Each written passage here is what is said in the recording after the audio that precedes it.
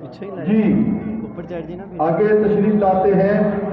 हाफिज साइम सगीर हाफिज साइम सगीर तशरीफ़ लाते हैं। उनके वालद मोहतरम से भी गुजारिश है वो भी स्टेज पे आ जाए।